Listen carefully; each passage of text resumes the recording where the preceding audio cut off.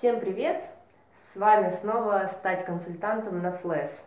И сегодня с вами я, Анна Саакян, а, преподаватель курса структурирования для кейс-интервью на ФЛЭС и кейс-коуч, и также наш герой Ренат, а, которого сегодня а, я буду коучить для прохождения кейс-интервью. Ренат, привет. Да. Привет.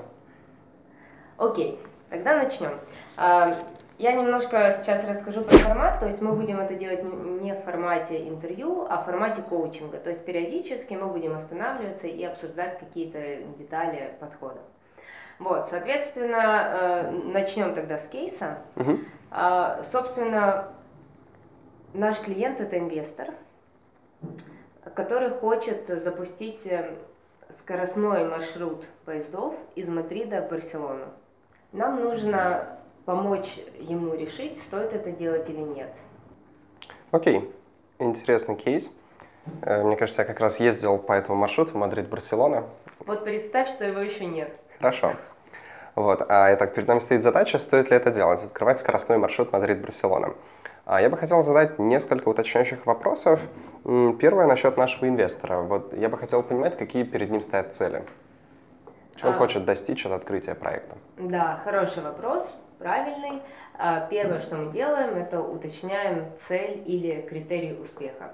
Соответственно, здесь у меня будет ответный вопрос к Ренату. Как угу. ты думаешь, э, какие критерии успеха э, являются такими базовыми для инвестиционных проектов? Хорошо, я думаю, мы будем смотреть на ERR и NPV этого проекта.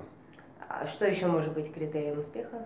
Если э, я бы выбил это на финансовые, не финансовые показатели, да, вот с точки зрения финансов это ERR, NPV, с точки зрения не финансовых, возможно, перед ним стоит какие-то социальные обязательства или социальная миссия, которую okay. он хочет донести. Да, также это может быть э, что-то связанное с э, там, увеличением своего там бренд awareness, если у компании есть, у инвестора есть какая-то компания, да, а, и в принципе может быть ряд других нефинансовых целей, которые обычно уточняются впоследствии интервьюера. Угу. Вот. Э, здесь э, хотелось бы сразу сказать, что в кейсах обычно применяют, как правильно сказал Ренат, NPV, ERR, также может быть э, payback period да, или ROI. Мы не будем углубляться в детали, я просто советую нашим зрителям почитать более подробно, тем, кто с этим не знаком, потому что знаешь, да, Ренат, что это может быть на интервью э, могут спросить об этом. Вот, хорошо. Соответственно, у нас более легкая задача, то есть как раз у нас целью является payback period. Угу. Есть ли еще какие-то вопросы? А payback period какой интересует нашего инвестора? Да, нужно, чтобы он был не больше, чем 5 лет. Окей. Не больше 5 лет. Хорошо. Мы поняли по целям, а теперь я бы хотел уточнить, есть ли какие-то ограничения временные на наши цели? То есть, э, как, хорошо, 5 лет payback period, как долго будет строиться этот маршрут? Угу. Да, э, маршрут мы не строим, то есть это, это вот, наверное, то, что мы дальше обсудим. Угу. А, но э, мы покупаем поезда, которые будут строиться год. Ну, производиться. Okay. Соответственно, заплатить мы должны за них сейчас, получим и сможем запустить мы их через год. Окей. Okay. Соответственно, 5 лет считается от начала инвестирования. Да, все правильно. Угу. Хорошо. Я понял по целям. Сейчас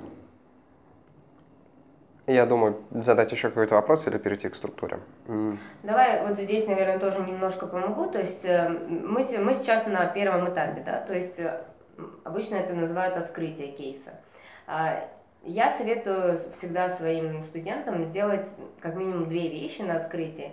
Первое – это уточнить цель, то, с чем Ренат, собственно, отлично справился. И второе – это понять, как работает то, что мы будем анализировать. Если это бизнес, мы спрашиваем про бизнес-модель э, и про некоторые детали инвестирования в нашем случае, да, чтобы угу. понять, э, какие у нас будут инвестиции, что, что у нас пойдет в операционные издержки э, и откуда мы будем получать деньги, то есть что будет являться основным ревеню стримом, одним или несколькими. Окей. Okay. Да, я просто в общем виде представлял, как это работает. Это, наверное, очень хороший поинт, что я не до конца представляю. То есть вот ты сказал, что мы покупаем поезда, и дальше я все равно не до конца понимаю, как мы делаем деньги. Поэтому давайте исправлюсь. Я бы хотел уточнить, а как мы собираемся делать деньги в этом проекте? То есть мы покупаем поезда, и дальше вот что с ними происходит? Как они генерируют нам выручку? Мы будем генерировать основной поток выручки за счет продажи билетов пассажирам. Угу. То есть основной бизнес это пассажироперевозки.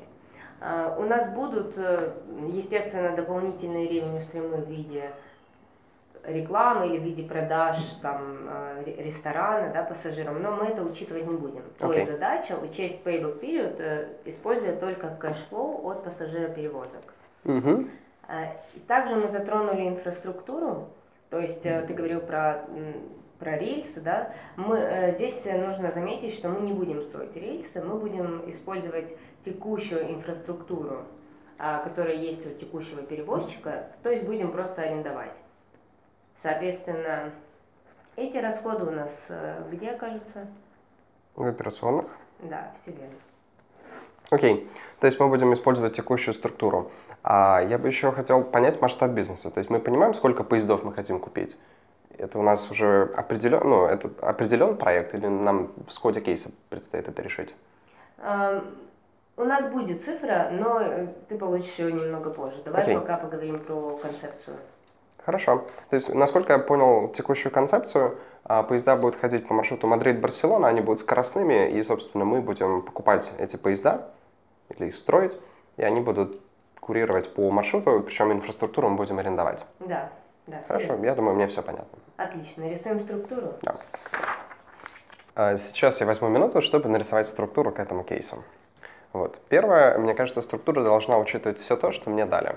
Итак, что мне дали? Мне сказали, что ключевой показатель эффективности – это payback period. Я расписываю, из чего он состоит. Он состоит из операционного cash flow, который мы получаем ежегодно, и инвестиций, которые мы делаем.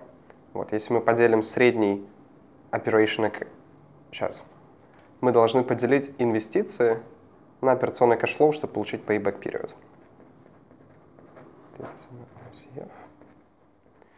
Получить payback period. Да, проверяем, если мы инвестируем 10 рублей, получаем 2 рубля каждый год, получаем 5, да, это правда. Окей. Значит, в моей структуре я буду смотреть на два показателя. Это инвестиция, которую мы делаем, и operational cash flow, который будем получать. И второй момент, я бы, думаю, включить риски, потому что их всегда включают в структуру. Вот. Обычно я включаю альтернативы, но так тут их нет. Нам просто говорят, вот этот проект, поэтому просто будут риски. Окей, теперь внутри структуры, наверное, каждую из двух компонентов нужно разбить.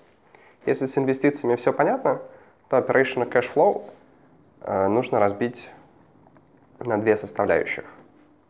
Это выручка и издержки. Дальше выручка бьется на число пассажиров, на среднюю выручку с пассажира. А издержки бьются, наверное, на три компонента здесь будет. Это люди, техобслуживание поездов, инфраструктурные платежи и прочее, на всякий случай.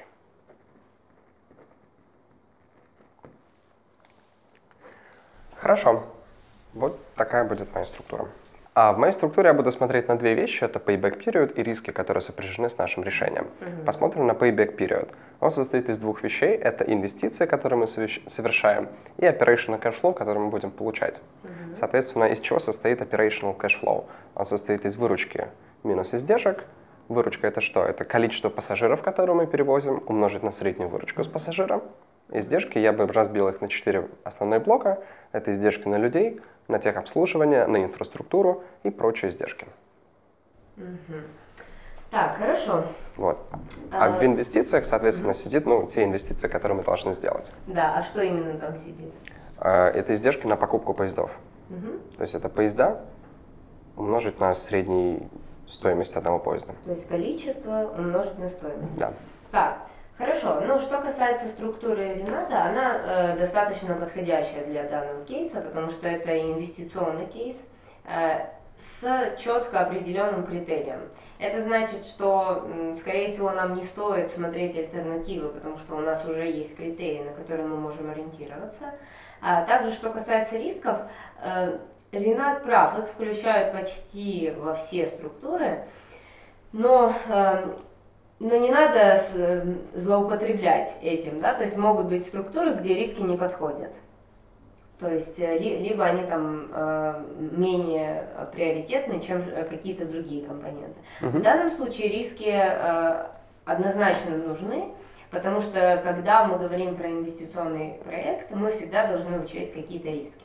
Что касается самой структуры, она сделана неплохо, она миссия, она сфокусирована на ответе на наш вопрос, так как э, основной, основная задача была в определении payback период, соответственно, Ренат сконцентрировался на этом.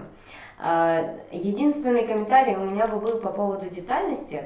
А, конечно, это зависит от э, того времени, которое вам предоставлено на прорисовку структуры, но теоретически можно было бы добавить сюда больше деталей, как минимум вот инвестиции прописать, да, угу. то, что ты риски накидать, там 2-3 основных риска, которые, как вам кажутся, должны быть в этой э, индустрии, да, и там, ну, более детально расписать там косты. Э, и здесь еще сразу, э, это вот по поводу самой структуры. Дальше, здесь у тебя э, переменные Издержка? косты? Ну да, А почему нет постоянных? Я подумал, что все постоянно будут в инвестициях. Почему? Ну хорошо, это... Давайте, э, это, э, кстати, такой достаточно распространенный момент. Э, я не скажу, что это ошибка, но, но чаще в кейсах смотрят инвестиции отдельно и все операционные издержки отдельно. Фиксированные издержки это тоже операционные, поэтому нам лучше вычитать их из нашей выручки, когда мы считаем операционный cash flow. Uh-huh. Да. Соответственно, я бы все-таки внесла фиксированные издержки сюда. И давай подумаем, а, а инвестиции это разовое, то есть, соответственно, чем отличаются инвестиции от фиксов? Фиксы это наши э, постоянные издержки, а, которые не зависят от объема выпуска или там предоставляемых услуг. Переменные, соответственно, зависят от объема, а инвестиции это то, что мы делаем разово. То есть вот мы один раз купили поезда, и это наша инвестиция. Угу. Вот. Соответственно, давай подумаем, что у нас будет включаться в постоянные издержки в этом бизнесе. Ну, смотри, я, я назвал четыре бакета, наверное, они включали в себя как переменное, так и постоянное. Это mm-hmm. люди техобслуживания, и аренды инфраструктуры и прочее. Mm-hmm. Скорее всего, что-то сидит в прочем, что большое, чего я не назвал. Но так нельзя делать. Прочее обычно это то, что у нас занимает меньший процент, чем все остальные блоки, которые вы назвали. Понимаете, да? То есть если, например, мы скажем, что зарплата у нас 40%, а, мы не можем ее включить в прочее, потому что это почти что половина наших издержек. Окей. Okay. Я бы посмотрел, мне кажется, я забыл э, какие-нибудь платежи государства за то, что мы, получается, мы же будем только единственным поездом, да, который будет ходить скоростной. Ну да, все ну, верно. предположение такое. Какие-то лицензионные платежи, да, да все Я думаю, что какие-то лицензии. В фиксированных издержках. Хотя а, здесь тоже может зависеть, ну, допустим, мы, мы должны платить за объем перевозок, тогда это будут переменные. Но насколько вот мне известно, большая часть каких-то э, подобных платежей, они всегда фиксированных сидят. А, что, э, э, ты слышал про такое понятие, как SGNA? Да, SGNA. Selling General and Administrative Expenses. Да, все верно. Э, они у нас здесь применимы? Ну, люди сидят, ну хорошо, офисы и, возможно, издержки на продажу этих билетов. Да. Ну и также наша IT-инфраструктура, наши угу. бухгалтера, юристы. SGNA применим практически везде.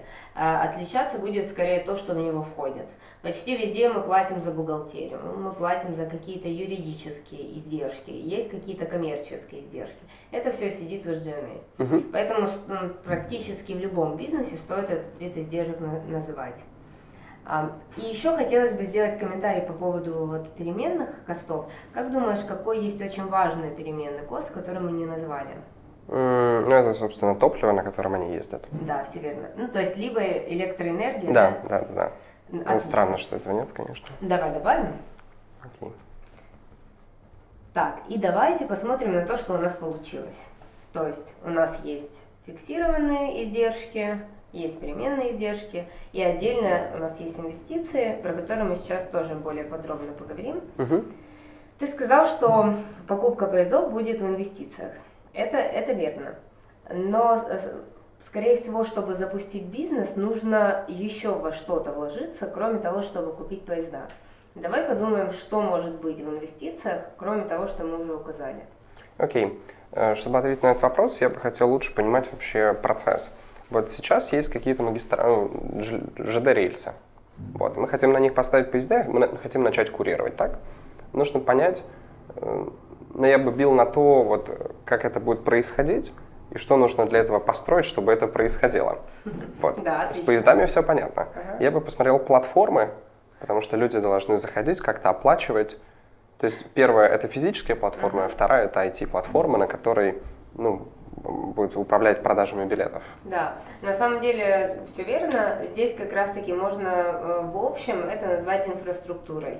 То есть, э, не разбираясь в этом бизнесе, мы не должны называть детали, да, то есть э, мы не должны сказать, что именно нам нужно строить, да, но как минимум понимание того, что нам нужно поработать над инфраструктурой, и, скорее всего, нужно туда вложить, даже несмотря на то, что она есть, э, такое понимание нам нужно показать. Угу. Поэтому я бы здесь еще э, добавила пункт э, инфраструктура, да. который э, будет в себя содержать все доработки текущей физической инфраструктуры, ну и также можно сказать, что она включает в себя там всю IT-инфраструктуру, которую надо построить. Вот, с этим э, принципе, да, тоже разобрались. Угу. Что еще может быть? В инвестициях. Да. Окей, мы назвали физическую инфраструктуру и IT-инфраструктуру. Угу. Мы... Туда же можно э, тоже включить в IT-инфраструктуру, там, допустим, свой сайт, там, инфраструктура для продажи билетов, это угу. все может быть там. Да, хорошо. Что еще может? Мы учили поезда.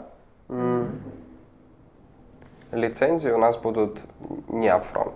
Зависит от того, как это регулируется, но если мы должны заплатить за лицензии, я бы их перенес из operational cash flow ну, в инвестиции. Я наши. бы добавила их и сюда, и туда, ну и потом по ходу обсуждения либо оставила бы в обоих пакетах, либо бы удалила из какого-то. Почему? Угу. Ну потому что, скорее всего, у нас есть какая-то разовая э, лицензия, которую мы должны купить изначально, то есть это некий большой кост на то, чтобы нам разрешили заниматься этой деятельностью. И, скорее всего, есть дальнейшие платежи. Да. Если это не так, ты всегда можешь просто убрать. Это ну, некий твой assumption, который всегда можно обсудить с интервьюером. Окей, хорошо. Э, как думаешь, какой еще будет здесь кост такой? Ну, тоже В инвестициях. Да. Ну, давайте подумаем. Мы рассмотрели поезда, рассмотрели платформы, на которые они оперируют опять же, чтобы зайти на этот рынок, нужно заплатить за лицензию. А, теперь еще, что мы должны купить, чтобы войти в этот рынок? Или на что мы должны сильно потратиться? Вот, скорее, на что мы должны потратиться. Вот, сейчас в голову не приходит. Представь себе запуск нового продукта. Любой. Можно сказать, что в этот момент для страны этот продукт новый. Он имеет аналоги, но э, концепция, она абсолютно новая. Соответственно, когда мы запускаем новый продукт, нам нужно что-то сделать, чтобы люди о нем узнали. Ну, я понимаю, я бы это просто вбил в операционный cash flow. Есть э, ну, не, несколько видов, скажем так, маркетинга, да, которые мы делаем. Есть некий там а, поддерживающий, давай назовем его так, то есть это как раз то, что у нас в опексе сидит. Uh-huh. Это такой маркетинг на постоянной основе, э, всякие партнерские программы, рекламы и так далее. Ну и есть там э, так называемая маркетинговая поддержка запуска, когда мы разом вкладываем очень большую сумму в boost нашего продукта. И вот э, это как раз я бы тоже включила в инвестиции. Угу. Ну хорошо, да, про маркетинг я опять забыл в этих издержках, но в голове это было. Я бы, окей, давайте включим в инвестиции, я а. бы работал с ним как в operational cash flow. На самом деле, вот если мы говорим про operational cash flow, там вполне окей, если вы назовете маркетинг как, ча- как часть SGNA. Угу. То есть можно сделать и так. Но в инвестициях сидит отдельный маркетинг, это маркетинг при запуске. Окей, okay, да. да. То есть вот именно то, что мы делаем для запуска продукта. Так, хорошо. С этим мы разобрались. А сейчас э, я предлагаю пойти дальше по той же структуре. Мгм. И э, какой мы еще не разобрали пакет? Риски. А, если мы останемся в payback период? Ну, мы делим одно на другое, получаем payback период. Да, с инвестициями. Окей, инвестиции инвестиции да, выручка да, издержки да, выручка нет. Да, давай Давайте посмотрим выручку. Я бы ее бил на две компоненты. Это, собственно, билетная выручка и не билетная. Но так как для этого кейса ты упомянула, что только смотрим на билетную, давайте Да. смотреть билетную. Да, все правильно. Это хорошо. На самом деле ты, ты бы мог даже указать это в структуре, но просто поставить крестик, что мы не смотрим. Мгм. Это бы дало тебе такое, ну, более ши- широкое видение того, что происходит. Но окей. У тебя здесь есть э, average revenue. М, За пользователя. Да, если мы говорим только про билетную выручку, то тогда это что? Цена билета средняя. Средняя цена билета, отлично. Теперь вопрос, почему мы говорим про среднюю цену билета? Ну, потому что проще обычно все усреднять, поэтому мы говорим средняя, средняя цена билета с пользователем. Ну, не совсем. Средняя, э, то есть, э, если мы говорим про среднюю, это говорит о том, что мы подразумеваем не одну ценовую категорию. Или как минимум не одну цену, да, скажем так. Давай подумаем, чем может нравиться цена и эм, что может эм, влиять на то, что ценовые категории будут разные. Мгм, я понял, к чему ты клонишь. Тогда среднюю выручку с пользователя просто как это в эту систему поместить сделать? Понятно, что их нужно как-то бить э, категории людей на разные и разным предлагать разные цены. Ну, это понятно, это уже скорее про то, как ты будешь это пр- продвигать. Да. А я задаю вопрос скорее про то, откуда у нас будут деньги. То есть мы говорим, что у нас деньги, это мы умножим количество, э, вот это я бы назвала даже не юзеры, а билеты. Да, опять, почему так, как думаешь? Ну, я, я понимаю, я просто бью к людям, ну, потому что люди могут ездить. Это пассажиропоток. Ну да, то есть по факту Те это количество билеты. проданных билетов, да. Умножить на среднюю цену билета. И мы говорим, что цена билета, она из чего-то, из чего-то состоит. А, И средняя цена билета, она из чего-то рассчитывается. Ну, скорее, из там суммы всех возможных цен Мгм. поделить на количество. Ну да. А, Или даже, может быть, средневзвешенную це- цену взять, если они, ну, количество разное. Соответственно, давай подумаем, чем нравится цена. Если мы говорим про перевозки, а, у нас всегда есть э, разные классы перевозок, Мгм. правильно? А, Ну, как думаешь, в скоростном поезде что это может быть? Ну, это вагон первого, второго класса, возможно, Ну третьего. да. Или какой-нибудь, доп- доп- допустим, бизнес-класс и стандартный класс. Да? тоже. То есть это первый драйвер, да? А, И у нас также есть, наверное, все слышали, особенно кто покупает билет онлайн, про э, факторы динамического ценообразования. Мгм. То есть э, э, это те факторы, которые влияют на цену билета в зависимости от того, когда мы покупаем, за сколько времени до отправления, э, насколько сейчас загружен поезд и так далее. Да. Здесь понятно, что часть вот этой динамики, она идет э, к, ко всяким, как комиссия, да, к тем, кто продает наши билеты, но часть, она идет и к нам. Поэтому я бы здесь учла product mix, то есть average, потому что есть product mix. Мгм. Ну и, соответственно, product mix это уже все то, что драйвит разную цену. Да, то есть у нас средняя выручка с пользователя зависит от того, каким классом они путешествуют. Мгм. То есть это product mix. А также она зависит, наверное, от, ну, как ты упомянула, динамической составляющей. Да, То есть так- да. тогда, когда эти люди... Когда они обычно Путешествуют. покупают, насколько загружены там в среднем поезда и так далее. Так, хорошо. Ну и по факту есть еще некая там базовая цена, которую мы должны установить здесь, да? Э, То есть, опять-таки, так как продукт новый, мы не знаем, по какой цене его продавать. Мгм, да, Соответственно, вопрос к тебе, э, как здесь можно подойти к оценке цены? Окей. Я возьму новый лист, так как задача выглядит Задача отдельная. Новый, да. Окей. А, Значит, наша задача понять, как оценивать новый продукт. Для этого я бы хотел посмотреть на две вещи, наверное. Это то, а что важно нашим текущим клиентам, ну, точнее, что важно людям, которые путешествуют из Мадрида в Барселону. То есть это критерии принятия решения, не ценовые. И, собственно, текущие альтернативы, то есть э, то, как сейчас они могут решить свою проблему. Вот. В критериях я бы сделал, они бьются на две вещи. Это скорость и комфорт. Вот.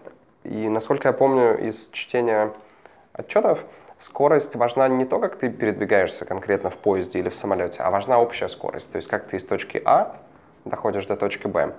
Ее бы обил на три компонента. Это путь из точки А до поезда, ну или другого способа перемещения. Это, собственно, путь из точки А, в... путь из Мадрида в Барселону в поезде. И третье — это путь там, из аэропорта или станции к точке Б, до которой ты хочешь дойти. Вот, то есть я буду учитывать общую скорость. А комфорт — это какой-то субъективный показатель, просто вот насколько удобно путешествовать различными способами. Так, это я понял. Теперь я посмотрел на альтернативу, а как вообще можно из Мадрида в Барселону приехать. Это, я просто ездил. Это автобус, это машина, это самолет. И четвертое, возможно, нескоростные поезда. Обычные поезда. Вот. Соответственно, дальше я бы посмотрел э, скорость среднюю. Ну, я думаю, эти данные будут в кейсе, потому что мы не сможем посчитать это самостоятельно. Вот. Я бы оценил скорость каждой из четырех опций, ее комфортность и, соответственно, текущую стоимость. И, и наверное, я бы прайсил нас. Я бы посмотрел примерно по скорости мы соотносимся с самолетом. Соответственно, моя гипотеза, что мы будем стоить чуть дешевле самолета. Так, окей. Хорошо, смотри, э, ну, в принципе, то есть логика у Рената верная. Э, мы действительно должны посмотреть, э, что мы можем дать нашим клиентам и как по-другому они могут что-то похожее получить. Но вот к этому вопросу можно было бы подойти более straightforward и а именно назвать три способа ценообразования. Слышал ты когда-нибудь про такие? Да, это, наверное, от конкурентов, маркап и... и ну, то есть cost-based это то, что ты говоришь, маркап, да, когда э, cost-based э, benchmark это от конкурентов и value-based, так называемый. Э, вкратце просто расскажу, что это такое. Cost-based это как раз, когда мы понимаем, э, допустим, у нас там цель стоит окупиться за 5 лет при текущих э, расходах, при текущем рынке и так далее, э, какая э, и при текущей потенциальной доле, с учетом цены, да, какая должна быть цена слэш доля, чтобы мы окупили за 5 лет, например. Вот это у нас будет cost-based. Mm-hmm. Есть еще cost-based, когда считаю там при текущих опексах, какую мы хотим маржу. То же самое. А, вот то, что здесь у Рената, это скорее э, относится к некому сочетанию бенчмарка и value base. Как раз таки то, что больше подходит для этого кейса, да. То есть, первое, мы смотрим, какие есть способы сейчас, а, и смотрим, э, в чем мы можем, можем быть э, лучше каждого из этих способов. Дальше сравниваем цену, которая есть у этих способов, и смотрим, где вот в этом списке могли бы быть мы со своим продуктом.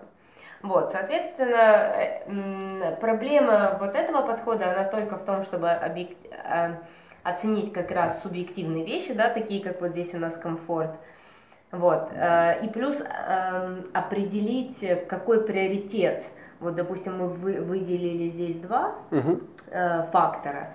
Скорее всего, их будет больше, да, то есть это Скорость, комфорт, возможно, какой-нибудь бренд или там понимание безопасности да. людей там того или иного способа.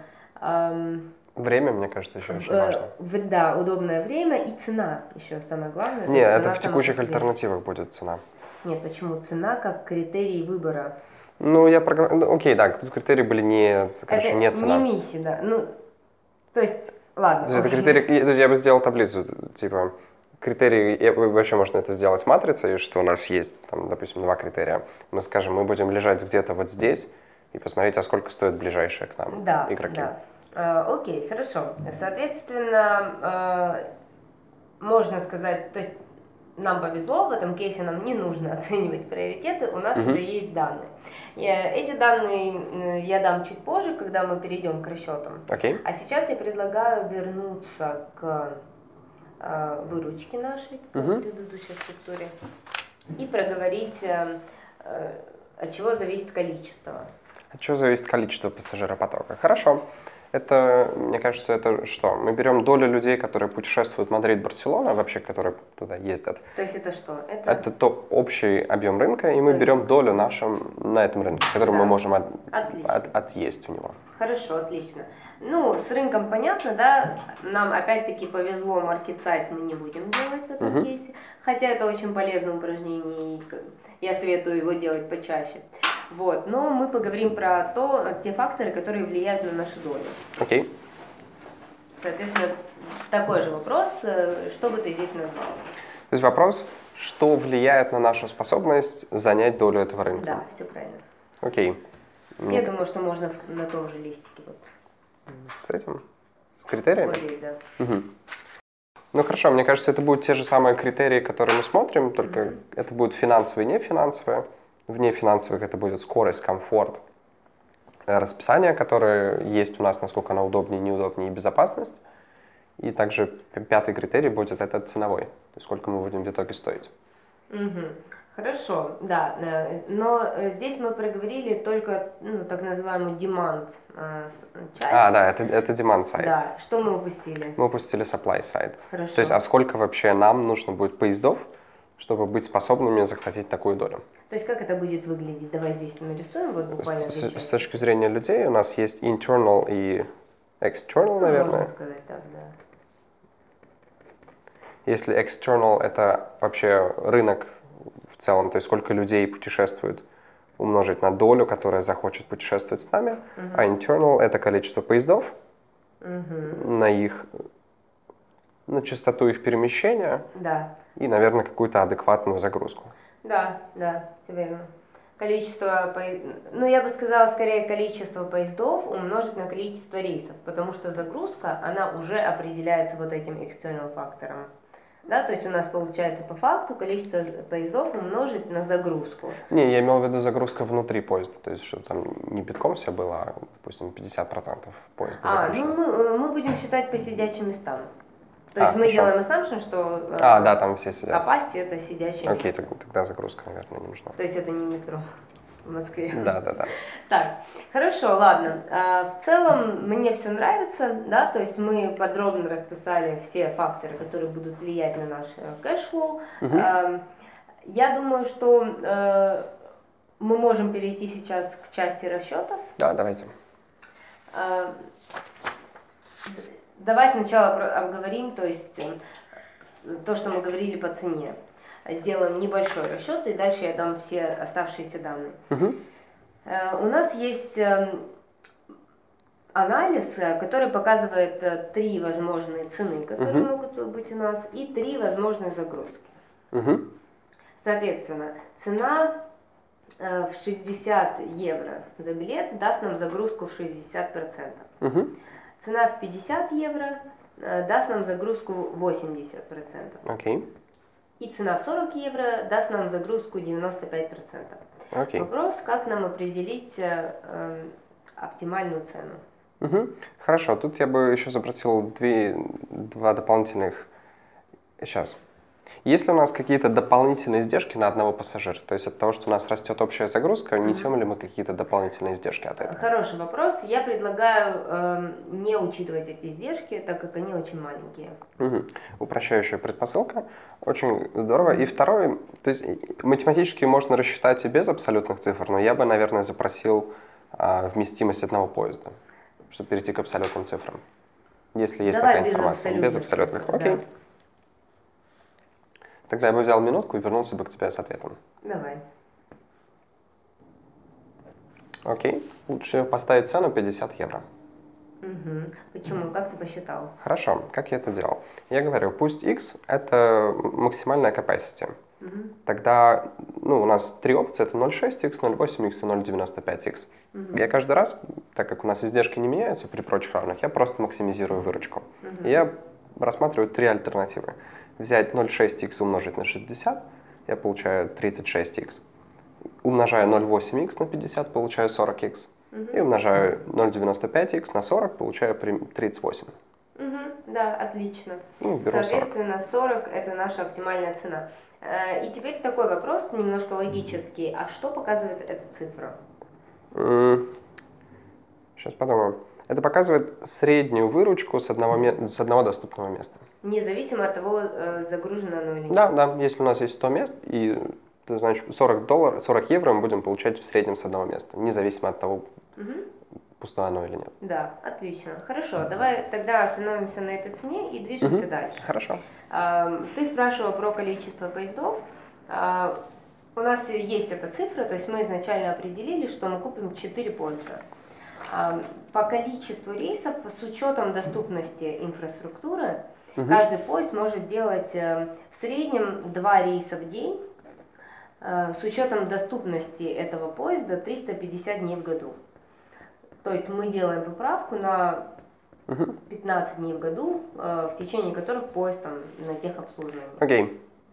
Хорошо, меня всегда интересовало в таких кейсах а, два рейса в день. Получается обратно или Э, Туда, э, туда это один рейс, обратно второй. все? Я просто как-то на интервью забыл это уточнить, и я потом очень долго переживал. Я думаю, что надо это уточнять, потому что у меня это может быть так, а у другого интервьюера может быть два... эм, Да, то есть два рейса может обозначать как бы туда и обратно, туда и обратно. Да, все правильно. То есть э, это может быть one way или может быть return. Да, хорошо. У нас это one way. Так, и, а мы знаем capacity одного поезда? Да, знаем, э, в одном поезде 500 сидячих мест. Окей, 500 мест. Что я сейчас буду делать? Я буду оценивать выручку, которую мы можем получить. Получается за год с четырех поездов. Мгм. У меня вопрос, а почему ты сразу решил считать выручку, ведь я еще не дала тебе э, данные по затратам? Потом я бы перешел к Мгм. затратам. Ам, так, хорошо, здесь тоже такой момент. Эм, Он достаточно важный, потому что есть э, некий способ, который вам очень часто позволяет сделать шорткат в расчетах э, и не считать лишние большие цифры.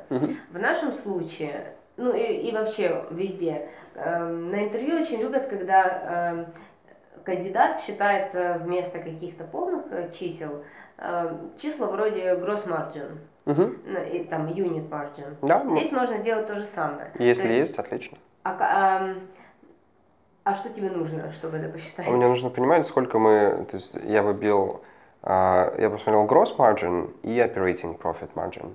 Если у нас есть эта информация, то есть gross нам дает, ну, мы вычитаем все сопутствующие издержки на продажу этого билета Мгм. в среднем. Если берем operating margin, то мы вычитаем вообще все издержки, переводим их, ну, получается, мы говорим, какая, какая будет доля издержек в нашей выручке.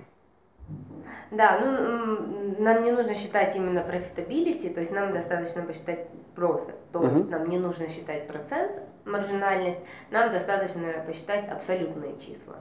То есть эм, что здесь я имела в виду? Что у нас есть некая выручка, э, там, допустим, с поезда, Мгм. И нам дальше нужно понимать, э, эта выручка, эм, как, э, какая часть этой выручки будет являться прибылью. Да. Для этого нам достаточно будет вычесть переменные издержки на, на один рейс. Ну да, там, в зависимости от того, как это структурировать, можно от рейса идти, можно от там, дней, можно от мест. Да, вот Можно от вопрос. выручки. Как думаешь, э, э, какие переме- э, какой фактор переменности в данном случае он будет максимально применимым? Скорее всего, рейс.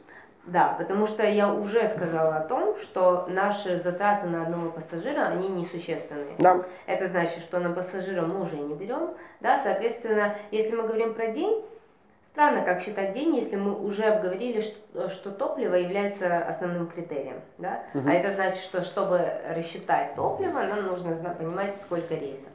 Соответственно, да, я предлагаю на рейс, окей. а, и, соответственно, какая еще информация тебе будет нужна? Э, Хорошо. То есть мы считаем сначала издержки на рейс переменные, а потом из них еще вычитаем все постоянные. Да, все правильно, постоянно у нас будут в год. Окей, да. Какие у нас основные драйверы э, издержки на один рейс? Это топливо, Мгм, оплата людей мгм. и оплата инфраструктуры, которую мы арендуем. Да, все верно. Э, и все это вместе на один рейс будет составлять 7 э, тысяч евро. Окей.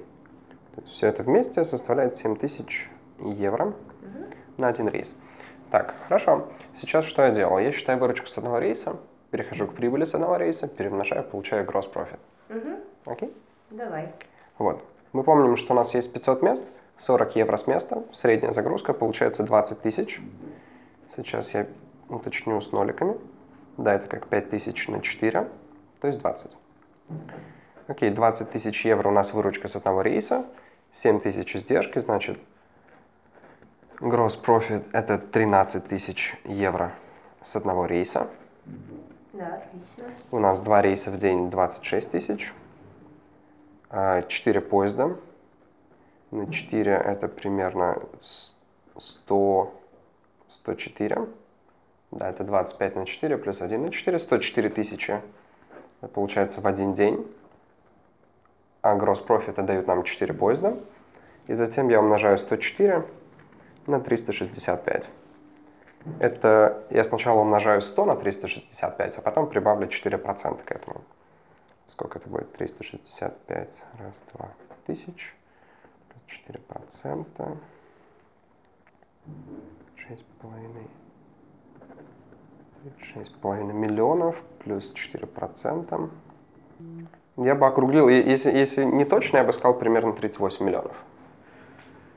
Э, ну, давай округлим, хорошо. Давай возьмем 38 миллионов. Это что у нас? Это gross profit за год. Да, отлично. Четырех поездов. Угу. Сейчас еще хотелось бы сделать тоже небольшое замечание. Понятно, что из-за того, что я коучу Рената, он меньше драйвит кейс. Но э, в целом, вот нашим зрителям я бы хотела сказать, что есть еще, еще одно важное качество, которое нужно проявлять.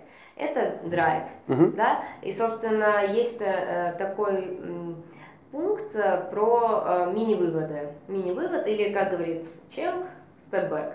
Соответственно, когда мы делаем степбэк, мы должны э, объяснить, что у нас есть на данный момент, к чему мы только что пришли и как это вписывается в нашу общую картину того, что мы делаем, чего нам не хватает. Вот, соответственно, сейчас мне бы хотелось передать инициативу okay. Ренат, тебе, чтобы ты э, сделал небольшой степбэк и сказал мне, э, куда мы двигаемся дальше. Угу, сейчас давайте степбэк вообще, что мы поняли. Угу. Один поезд дает там 20 тысяч э, выручки при издержках 7 тысяч. Получается, доля издержек выручки 35% получается 50-65, мы, это gross profit margin. Mm-hmm. Это очень хорошая маржа. Вот. Дальше я делаю шаг вперед и говорю, а сколько же нам 4 поезда принесут за год? 38 миллионов евро. Тоже получается вполне солидная цифра. Сейчас я бы пошел дальше. То есть мы поняли все, что касается gross profit. Я бы перешел дальше в структуру издержек, а какие издержки мы будем нести ежегодно mm-hmm. на эти поезда. Это будет первое. И второе, перешел к инвестиционным издержкам. Да, отлично. Давай Переходим? префиксы, да, тогда. Окей. Вот, мы понимаем, что поезда будут приносить нам 38 миллионов евро в год. Вот. А теперь давайте посмотрим, какие у нас есть еще фиксированные издержки. Это тех, я думаю, основные драйверы. Это техобслуживание, а, лицензии и прочее SGNA. Эм, техобслуживание, Поездов. лицензия, SGNA. Возможно, эм, да. Да, все, если мы здесь скорее мы будем говорить э, про прибыль там до вычета э, налогов и процентов, да, соответственно. Кстати, небольшой комментарий. Я да. никогда в кейсах не встречал налогов. Очень. Ну все правильно, потому что обычно считают и беду. То есть говорят profit, а имеют в виду и беду. То есть earnings before interest, taxes and depreciation. Угу. Соответственно, мы не учитываем здесь ни амортизацию, ни налоги. Но э, чтобы не попасть в просак, потому что могут быть кейсы, где это надо учесть, я все-таки советую изначально это с интервьюером обговаривать. Да. То есть будем ли мы учитывать налоги, проценты, или мы будем считать там и беду. В нашем случае мы не учитываем, опять-таки у нас легкий кейс, okay. да, поэтому не углубляемся. Соответственно, эм, мы, мы назвали три основных блока, да, это maintenance, это SGNA и, и э, лицензия. лицензия. Так, хорошо. А, соответственно, на все это в год мы будем тратить 10, тысяч, 10 э, миллионов евро. Окей. Значит, получается, мы тратим всего около трети от гросс профита. То есть мы в год будем получать 28 миллионов. Угу. Это тоже очень хорошо. То есть у нас gross margin примерно 60, 65%, угу. и дальше от этого всего треть мы забираем. То есть в итоге у нас очень так хорошая маржинальность, порядка 40% получается. То есть я беру треть от 65. Точно 40, да? Я не считала. Я тоже не считала, это прикидка. Тогда э, посчитайте, телезрители, за нас мы не будем считать сейчас. Ну, я, я думаю, все правильно. Я беру да, треть от 65, это, это около 20, то есть около 45, чуть меньше, ну, мне кажется, 42. Ну хорошо, значит, в любом случае плюс-минус 40% э, угу. у нас будут э, издержки занимать, да, и, соответственно, больше 50 это будет... Э, Не-не-не, наоборот, наоборот, 42% это operational margin. А, это margin. Да, это Окей. маржа. Как тебе кажется? Это очень хорошая. Ну да, неплохая. Тем более для такого бизнеса. Мне кажется, здесь цифры немножко подогнаны. Наверное, в реальности не так. Okay. Так, хорошо. А, собственно, что, что нам нужно дальше? Тогда переходим в, в investment блок. Да. То есть то, сколько нужно проинвестировать, чтобы получать такую неплохую прибыль. Угу. Хорошо, смотри, стоимость поезда а, одного 15 э, миллионов евро. Угу. Стоимость эм, всех прочих затрат, про которые мы говорили, 5 миллионов евро. Окей. Okay. 15 миллионов евро стоимость одного поезда. Угу. И 5 миллионов это что? Это стоимость э, того, что мы здесь проговорили. Про угу. Это все прочие, прочие единовременные издержки. Да. Окей. У нас было 4 поезда. Да. Значит, на поезда нужно потратить 60 миллионов угу. евро. И еще 5 миллионов потратить на прочее. В сумме получается 65 миллионов. Окей. Ну, беглый взгляд показывает, что период окупаемости будет чуть больше двух лет, но меньше трех. Вот сейчас я предлагаю посчитать его чуть более точно. Давай посчитаем, да. Так, давайте посчитаем. Payback период. Два с половиной, ну окей, да, 2,33 года. 2,33, что мы здесь не учли? Хороший вопрос. Мы могли не учесть, как выручку мы учли всю, угу и operational выручка. Короче, в operational профите, я уверен. Возможно, мы забыли что-то угу. учесть в общих издержках, но так как ты сказала, что 5 это все включает, то мы учли все. Да, в инвестициях. Вот, хорошо. А, был еще один момент про инвестиции в самом начале. Это тоже очень важно. Есть какие-то мелкие данные, которые интервьюер дает в начале, которые должны вылезти в конце. Часто э, кандидат естественно, про них забывает, потому uh-huh. что нервничает или не записал, или записал, но забыл, к чему он это записал. Эм, и эм, не, не учитывает это там, где... Год строится поезда. Да, все правильно. То есть, пока я говорила, Ренат вспомнил, это хорошо. Э, соответственно, что насколько увеличится наш payback период из-за этого? Ну, смотрите, то есть за 2,33 мы окупим, как только мы начнем приносить прибыль. Да. Но еще год пройдет на то, чтобы мы строили поезда, поэтому 3,33 года. Угу, отлично. И, соответственно, какой... Переходим к рекомендациям? Или... Не совсем. А, это вот еще один момент про стебэк. Что у тебя есть в структуре, что ты еще не, не рассказал? Окей, okay, да, стебэк.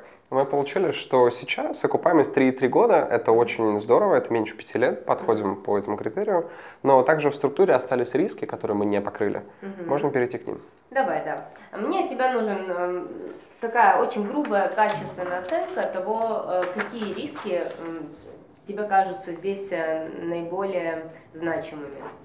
Окей. Okay.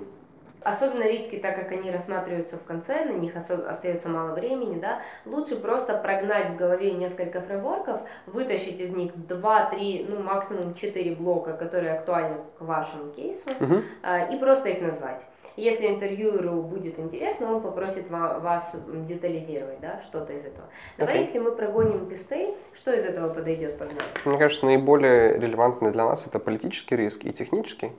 Хорошо. Давай. Перед нами стояла задача, стоит ли инвестировать в поезда, если да, то зачем? Ответ да, стоит, и payback период составит 3-3 года, что хорошо. Теперь несколько фактов. Почему?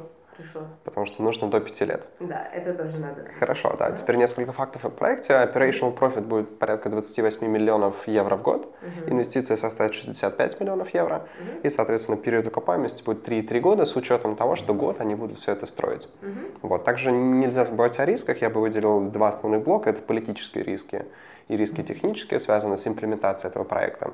Вот. Но overall мы считаем, что вам стоит инвестировать в этот проект, и он удовлетворит вашим критериям. Угу. Хорошо, спасибо. На этом мы закончили наш кейс. Я думаю, что Ренат отлично справился. Ренат, что думаешь? Да, спасибо большое, Ань. Кейс был очень интересный. Особенно было интересно, что ездил на этих же поездах из Мадрида в Барселону. Вот. То есть их все-таки запустили? Все-таки запустили. Да, и рекомендация была верной. Собственно, мы будем еще снимать видео, даже Ренат, ты же будем. будешь еще. Вот. Так что следите за обновлениями. И большая просьба, если у вас есть комментарии, предложения или вопросы, обязательно пишите их в боксике внизу. Всем, Всем пока! пока.